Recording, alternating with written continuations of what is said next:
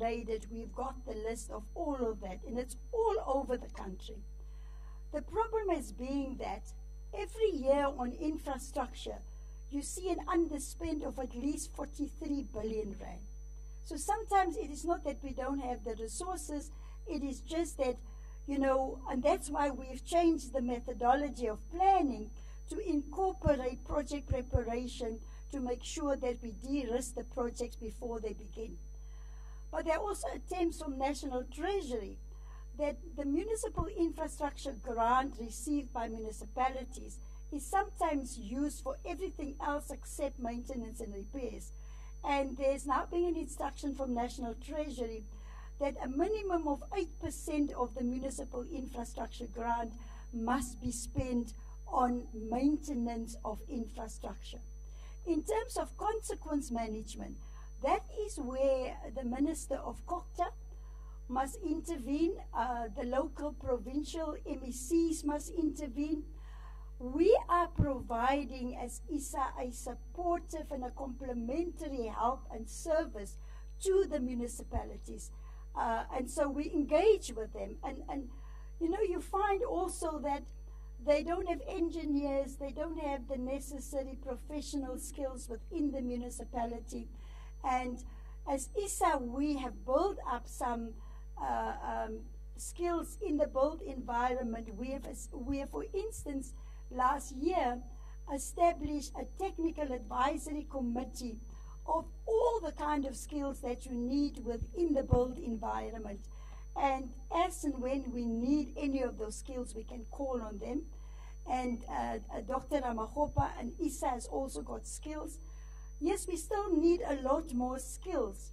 And then we also have got a number of people from skills from the private sector that, that is assisting us.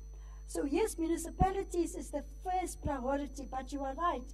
We do need to have that cooperation with the municipalities to guide them and to help them to deal with the failing uh, infrastructure in many towns across our country.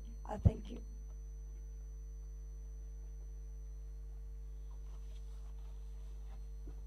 Thank you. We'll now head over to the questions um, on our WhatsApp line. I'll ask that um, Ignatius, if you can just read them out for us, just read all of them. Minister and Dr. Ramokgopa will note them and they'll come answer all of them at once. Thanks, Nombulelo. Um, the first questions come from Nogokanya Mdamba from Jacaranda FM. Where will where will the six uh, uh, six trillion to implement the plan come from? Can we get a, a clearer breakdown of how much of this six trillion will be allocated and when? And then the second question from Nokokanya. Uh, Dr. Ramokgopa talked at length about the four for target, targeted sectors such as uh, energy, water, uh, transport, and digital communications. But it all seems on the surface level.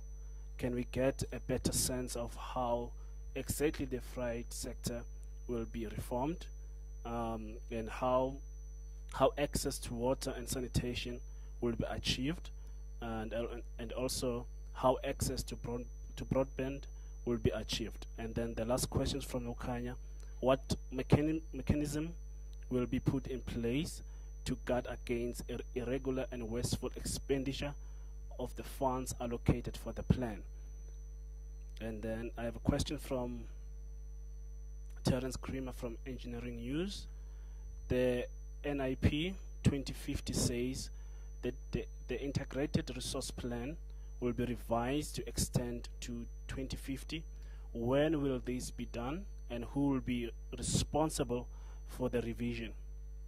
And then the second question is from Terence Creamer. What can ISA do to address the red tape that is hindering the, the registration of distributed generation uh, project with NERSA in line with the 100 um, megawatt reform?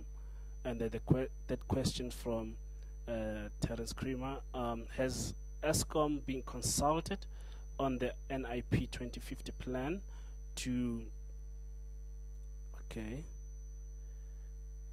to reinforce back revenues to to provide the necessary capital fund for future nuclear um, nuclear build program, what the impact be on Eskom already dis- on Eskom's already distressed finances, and why can't new new nuclear, if possible, stand or fall on its own business case?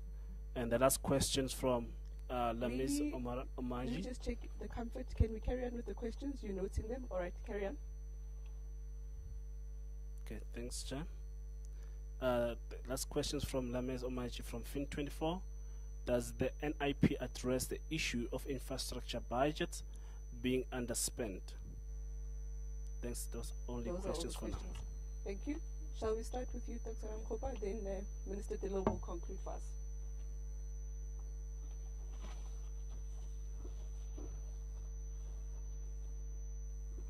Thank you. Thank you very much for those questions. The, the general concern I have all the time when you you present something as long as we have presented myself and the minister is people lose interest in the process. So the fact that we have uh, such a number of questions, it means they were listening. So thank you very much for listening. Uh, maybe just to, to, to make the point. So what the, the document does is to compute the total financing requirements to meet the objective of the NIP. And that's how we, we arrive at that figure of about uh, 6 trillion rand.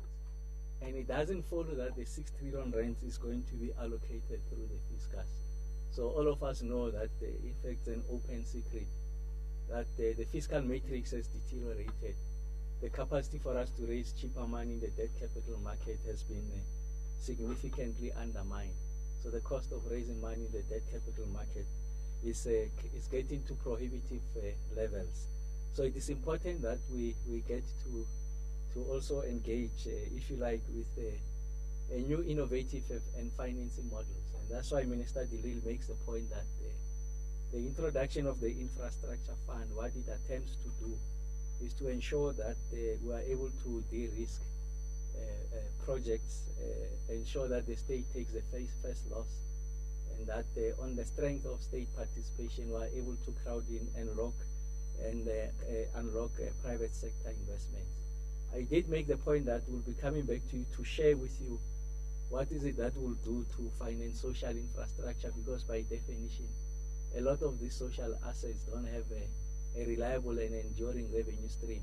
And therefore it becomes very difficult for you uh, to, to raise money in the debt capital market when in fact you don't have an underlying revenue stream. So we're working with the National Treasury, there are proposals on the table and I'm sure at the right time they'll be communicated to everyone through Minister of Finance and Minister De Lille on how we intend to address that situation uh, going forward. Let me make the point that uh, we know that over, I think, the MTEF period, there's on average an allocation of uh, over, I, I think, about 800 billion rands. So there's that allocation from the fiscal space, and then we're going to buttress it with the infrastructure fund and make sure that we raise uh, uh, money in the in the debt capital market. And maybe whilst I'm there, just to raise answer the question, the last one, how are you going to address the issue of uh, underspending? So having said all the kind of things I've said, the current problem that is confronting us now is not a financing problem. Because if you had a financing problem, it will mean that we should be able to spend all the allocations that we are getting from the fiscus. Minister De Lille makes a valid point. We have done a longitudinal study. So essentially, it did a trend analysis over a period of time. The underspending in the public sector is about uh, 43 billion rands uh, per annum on average. And when I say public sector, I'm talking uh, national, provincial, local authorities, and SOEs. So I'm not sitting with a financing problem as we speak now. Otherwise, you could be spending uh, optimally on that. You shouldn't be experiencing levels of uh, 43 billion rand per annum on on on on on implementation, or if you like, uh, of those projects that have been financed. So the question is, what are you doing to address that? So there's a multiplicity of touch points that requires our attention. The first one is the capacity of the state. So essentially, the, the degree and extent to which we have both the engineering, the, the technical and financial engineering capacity in the state, one to do bid specification, to do bid adjudication and evaluation. So you need that capacity. So in many instances, uh, it's not unheard of in government for a project to have gone out on tender for a period of uh, more than uh, 13 months. So you can see it's over a period of a financial year, and that explains the kind of underspending. Then there are issues around the discipline of planning. So you find that there are projects that are attracting financing and funding, but these projects don't have the minimum permitting and licensing requirements. For an example, you want to build a, a road or you want to build a hospital, but there's no necessary zoning from the municipality. There's not been zoned that piece of land for that purpose. And as we speak now, it takes an inordinate amount of time for us to do that uh, zoning. So part of the work that we are doing as uh, what, uh, in the context of what the president has announced in addressing red tape, is to ensure that we are able to address those uh, those uh, touch points. And then the issues around the water use license, environmental impact assessments, that people go out, they attract funding for a particular project, uh, and then you find that those licensing requirements have not been met. And that's why the president has said we're bringing um, um, down the, the number of days that is required for you to obtain a water use license. So I think the ambition now is to go to 60 days. We have en ensured that we have engineered, if you like, the system uh, to, to, to, to meet that requirement. I'm talking Department of Water and Sanitation. And then the environmental impact assessment is not unheard of to extend over a period of three years in this in, in the country. In some instances, provinces like Gauteng have brought that within 30 days. So it's about learning and unlearning from those experiences and exporting them to throughout the country to address that. So in that way, you are going to address the underspending. And of course, like Minister De Lille said, there has to be consequence uh, management. And then Nukukanya also asked the questions about the sectors, and I think the point uh, he or she is making is that perhaps we are addressing this uh, at the superficial level. I've tried to share with you in about 15 minutes a document that is over 60 pages. So we're very elaborate on what is it that uh, re requires attention. I mean, on the freight uh, space, uh, uh, we're talking, I did make the, the point, and the Minister De Lille reiterates the point, that we're introducing the Transnet Freight Rail will implement accounting and commercial separation to, to provide for a sound basis to, to evaluate and accommodate third-party rail operators into the future. So Transnet has already articulated that third-party uh, role players in that space.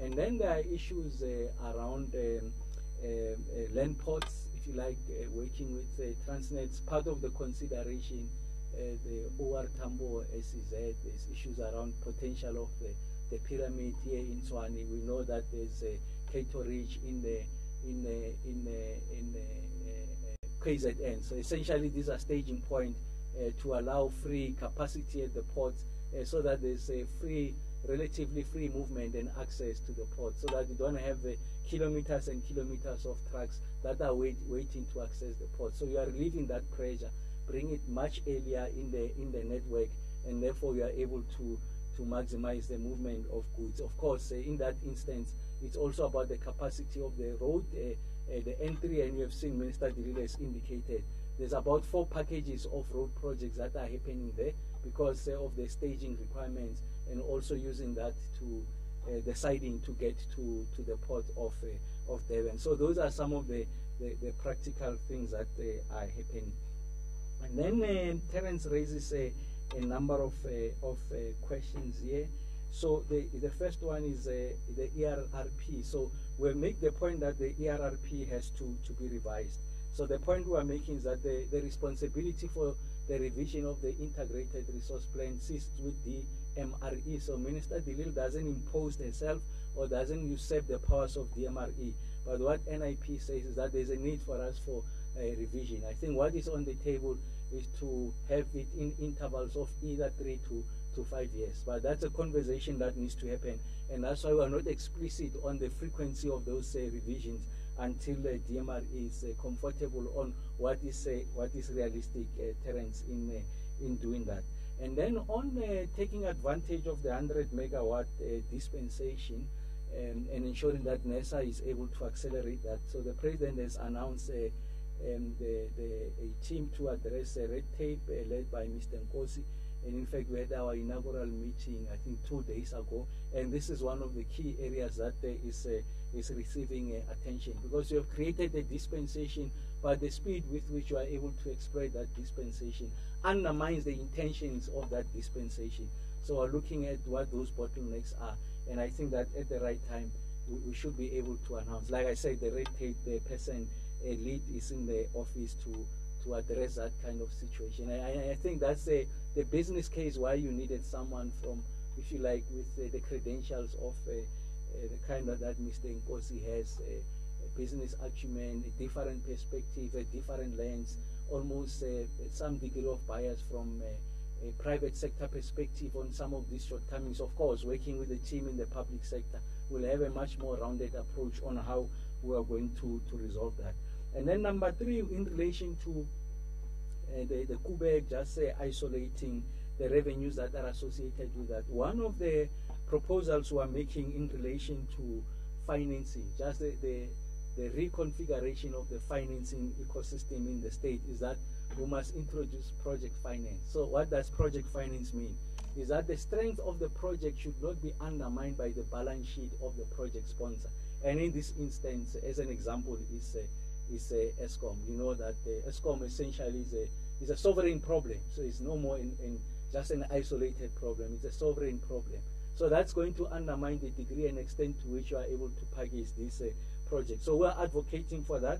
Uh, and to what extent have we engaged with uh, um, Eskom and the parties in this regards? The, the NIP is a product of consult, extensive consultation, DMRE, DPE, and uh, Eskom has been part of this conversation. But whether this one will, will benefit from project finance pa uh, packaging is a conversation that we must have. So I don't have a, an explicit answer whether yes or no, but all I'm saying is that at the generic level, we are exploiting the, the possibility of uh, project finance so that project stands on their own on the strength of uh, their revenue streams and the risk associated with delivering that project.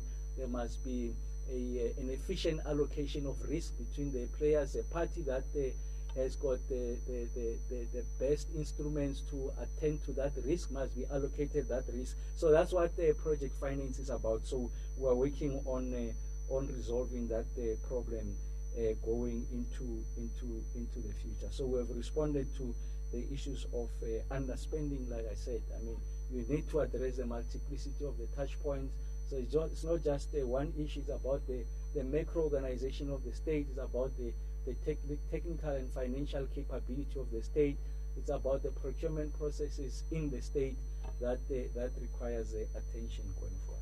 Thanks.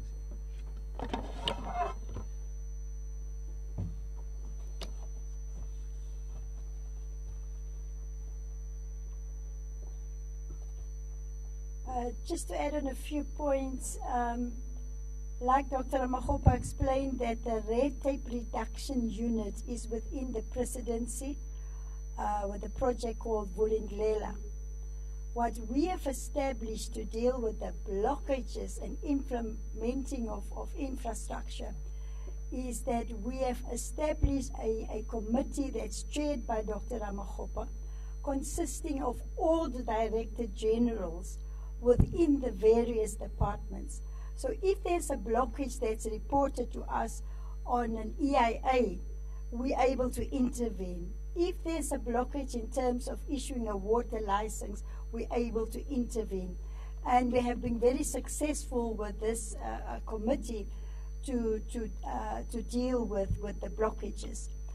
I must explain that the role that we are playing as Infrastructure South Africa our key focus and our, uh, first of all, that we are responsible for is the implementation of the infrastructure investment plan to coordinate that, to look for the funding to, to, to implement these projects.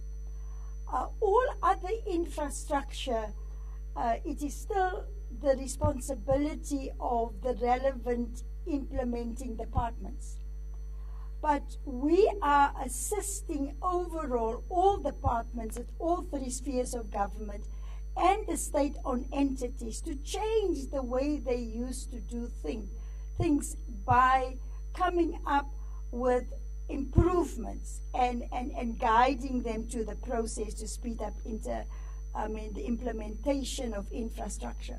So we, we, we, we've got a, a sort of a bird's eye view of all infrastructure in the country uh, where we are asked, and then we've established various infrastructure forums with the relevant provinces, and uh, Dr. Ramokgopa interact at all times with all nine provinces and those entities, investment entities, uh, in the office of the premiers. Just on the mechanism how to stop irregular and wasteful expenditure. Like I'm saying, the implementing departments, it is their responsibility to stop irregular and um, uh, wasteful expenditure. What we have suggested and said that departments must do is that they must get the services of a team that can do due diligence on every single infrastructure project so that you pick up um, any irregular expenditure before it happened. We've also said to all departments to put systems in place that can detect and that can prevent corruption. But we took it a step further by establishing an anti-corruption forum in the built environment consisting of civil society, the private sector and government, where we are monitoring uh, corruption and where people are able to report corruption to us. Uh, the composition of the anti-corruption forum consists of the SIU, the NPA, crime investigation, uh, people from the, the, the Justice Department, uh, and, and civil society, corruption watch, they're all on there. So, so we are monitoring infrastructure in general in the country and where we pick up corruption. And I give a quarterly update uh, to the public about corruption cases that were reported to us within the built environment and also corruption cases where the SIU is busy investigating. The, the Anti-Corruption Forum is chaired by Advocate Mothibi himself. And so I think in the next month we will give you a further update um, and monitoring the implementation of infrastructure and try and stop the corruption. Corruption is steals from the poor. Corruption is the cause of the delay of providing infrastructure to our people. People just look at infrastructure as hard infrastructure like buildings and cement and all of that.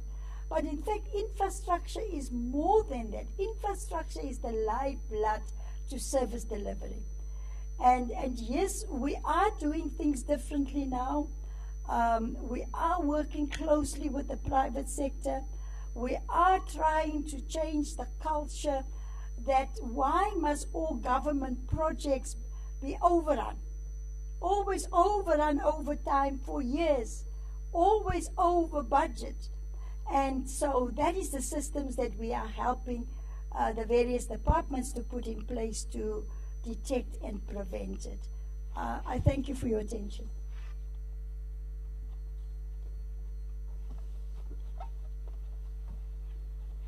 Thank you much. Uh, thank you very much, Minister Dr. Ramokgopa. Thank you, colleagues, for joining us. We've reached the end.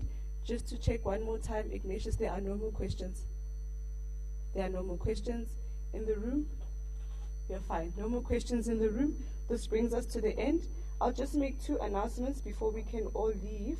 Um, the first is that if you wish to arrange media interviews um, for Minister De Lille, please contact Zara Nicholson. Um, her contacts are on the media statement that has been circulated. If you wish to arrange media interviews for Dr. Ramokgopa, please contact myself, Nombulelo Nyatela. My details are on the media statement. And just a final um, uh, sort of uh, announcement for the people in the room. One of our colleagues has misplaced their Huawei P30 phone, a blue one. So if you've seen it anywhere on your desk, please just have a look and just hand it to myself or Ignatius um, if you've seen it. Thank you, colleagues. Thank you for joining us.